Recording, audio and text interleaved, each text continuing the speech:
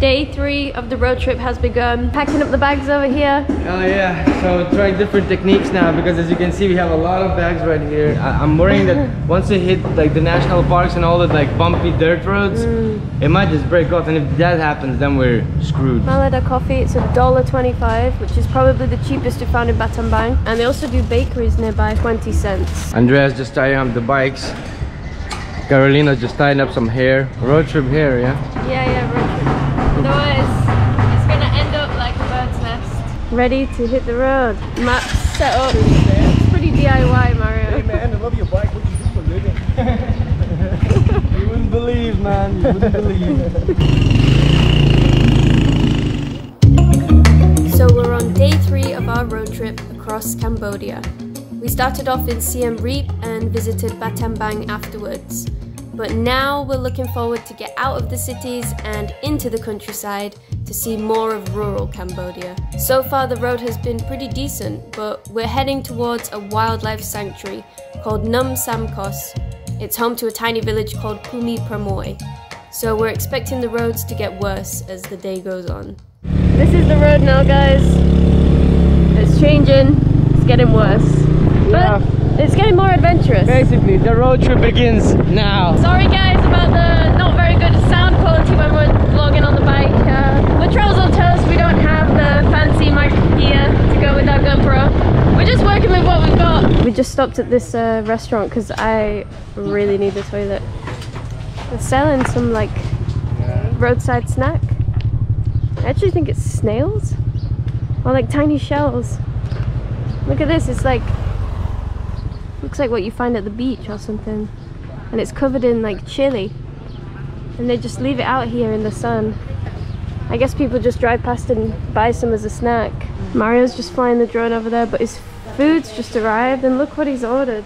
It looks like a clay pot, hot pot noodle soup. And it was 6,000, right? So a dollar fifty. I just go fly the drone for a minute and Olivia's already digging into my food. God damn it. Oh my god, Mario. Is it good? You're gonna love this. Mm. It looks like you're loving this more than anything. It tastes like, it just tastes like baked beans and sausage from the can. Why don't you get one? I won't eat the whole thing. I'll just eat some else. Oh mate, this is so good. I think it it's really Cambodian. tastes like homemade, right? It tastes like kind of wow. western, like what you would make at home. Yeah, like cabbage stew. Mm. I think yeah. it's from that smoked sausage. This was my favorite soup here in Cambodia, I'm not gonna lie. Yeah. So damn good. It's probably because like this processed sausage has that extra chemical that makes it taste so much better. the MSG. We're not man. talking about health, talking about the flavors, and damn, they were good.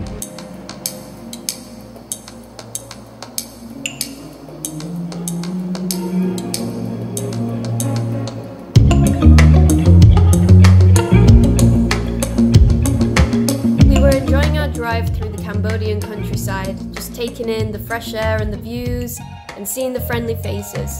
But road trips always have their ups and downs, and this up was coming to an end. I was enjoying this so much. Uh oh. We didn't expect this. this is where it gets fun. I was like, it's actually not far now, but now with these roads, it's gonna take us a little while.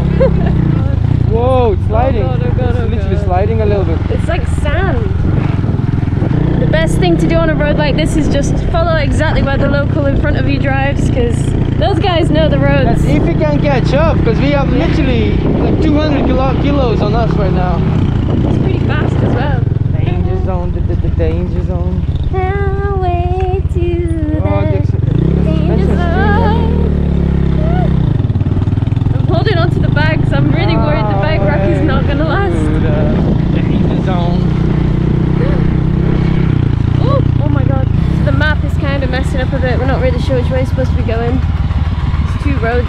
The map is being weird. Is it? Yeah, it's taking me this way now. It's telling me to turn around. Okay. And it's not giving me centered position. How's your back? Like, is it very wobbly? It's bouncing a lot. Um, that's why I'm like holding on like this. Because I'm scared the rack is going to break. While we're trying to figure out which way we're supposed to be going, we're going to take the opportunity to do a little photo shoot because we haven't taken pictures all of us with our bikes yet for Instagram or whatever so we thought this is the best position. Mario's asking for directions. Ah, okay, okay. Here, no. Ah, okay.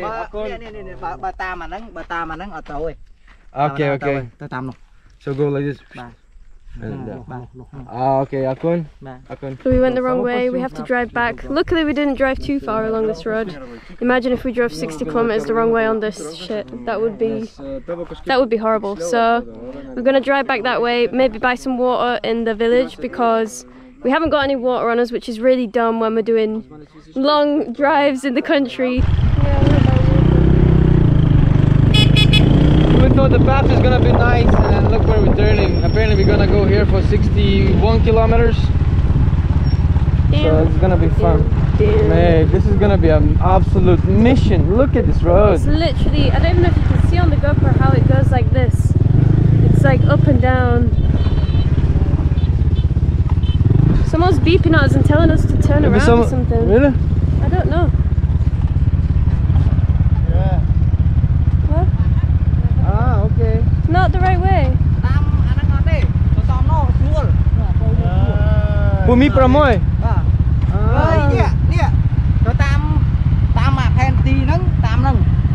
so maybe maybe you can look cannot maybe it's just farmland or something down this way yeah. So this guy just chased us to tell us. Oh, that's such a nice guy, man. Yeah, yeah. Akun, Akun. yeah, yeah. okay, okay. Otherwise, it would be like a roller coaster for however long.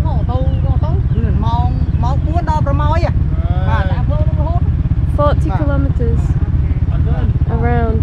Thank you. Okay, oh, so nice. Yeah, he saved our asses. He's an angel. Let's try again. Hopefully third time lucky. And the road begins. Oh my god. Oh, look at these birds. Look how low they're flying. What? Look at that. Yeah, it's like swiftlets. Yeah, swiftlets.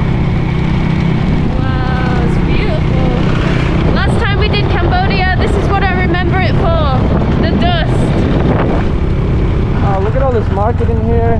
It's nice to see a bit of civilization, but it's literally a village in the middle of freaking nowhere. They spray the water on the roads like this to stop the dust. Yeah, that's nice. Thank you, lady.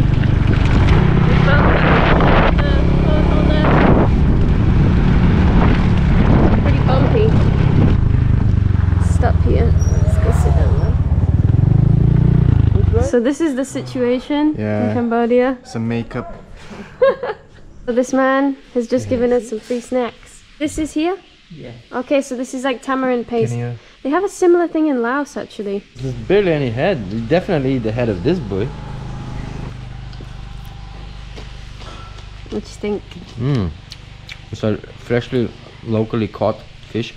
Yeah. It's really good. You can eat that with all the bones. Spicy? No. Tastes fresh. Yeah.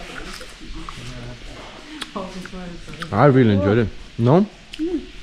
The fish itself is amazing. It's very... Um, like um... intense. Similar to what we had in in Malaysia. Yeah. Should I do it? Do it. That's a lot of sauce. Yeah. you can eat the tail, you can eat everything. Yeah. I'm okay. Mm. Mmm. Like it? I like it. It's really good. It tastes like durian mixed with asam pedas mixed with chili and a little bit sweet. So we did order fried rice with chicken, but they gave us rice with fried chicken and fried egg. But I mean, it's close enough, right? Yeah, yeah, it's good. Google Translate isn't perfect. Okun. Okun. And it's $2. This comes with a sauce. I just threw it on top. I don't know if that's what you do, but it smells like oranges and pepper. It's really good. I've never smelled a sauce like that before. Are you hungry?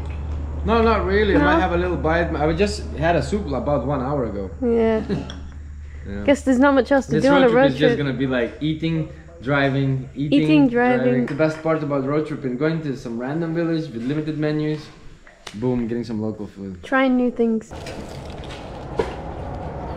Mmm egg is really good. It's like double fried. A wild Mario ate my food. They're very rare and endangered species. But they're still around. Right, back on the road. Under 40 kilometers left. Which is nothing really. And then we're gonna rest for the day. But yeah, yeah so far so good. At Come least on. we're on the right road. It feels way colder because of the climate up in the mountains yeah. or it feels a bit frisky. I'm pretty cold.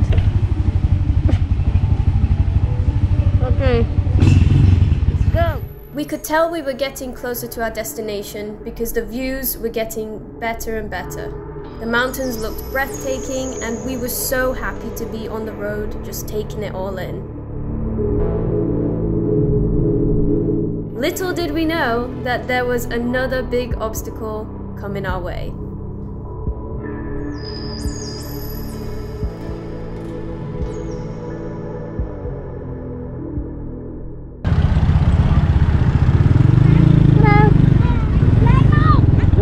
River crossing. Oh mate, are you ready for this? No way. Don't go through there.